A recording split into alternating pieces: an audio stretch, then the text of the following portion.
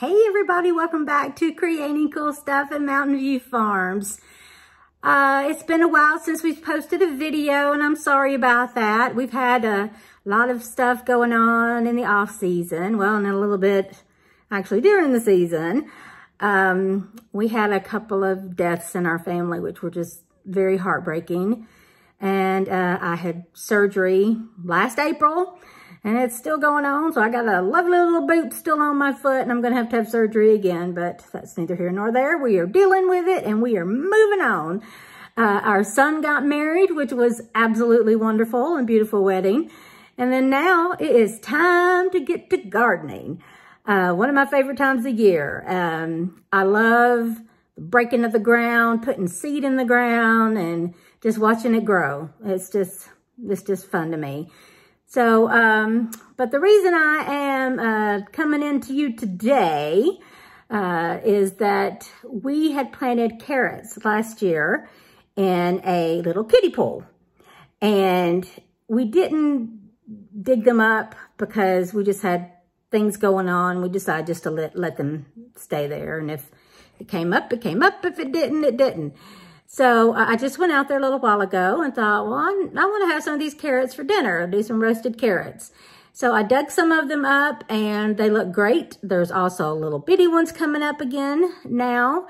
Uh, so if you want to use a little kiddie pool, um, you can just put your dirt in, sprinkle some seeds on it, and then uh, put dirt, a little light covering of dirt on the top and then let it grow. Well, of course, water. and then just let it grow. But I wanted to show you what the kiddie pool looked like, or looks like, and also what the carrots are looking like. Hold on, stay tuned. This is the kiddie pool. Not very big, because it is a kiddie pool. And these are what they look like. I've already pulled up a few right in here. Uh, but they're still growing. There's still some little bitty ones that are coming up. So it's going to continue to give us more carrots. It worked fine. So if you decide you want to do some in a little kiddie pool, just sprinkle you some carrot seed on some dirt. Put a light covering of dirt on top of them. And you are going to be good to go. Of course, water is going to need water. So now I'm going to show you what those wonderful carrots look like. These are the carrots. I just dug up a few. Well, I guess it's more than a few. I dug up several and just rinsed off the dirt.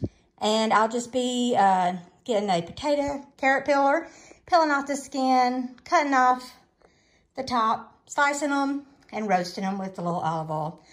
But, uh, so they did good over the winter. Very happy with that. Well, I appreciate you tuning in. And yes, we are here and we will be posting more videos. And we really appreciate you watching them.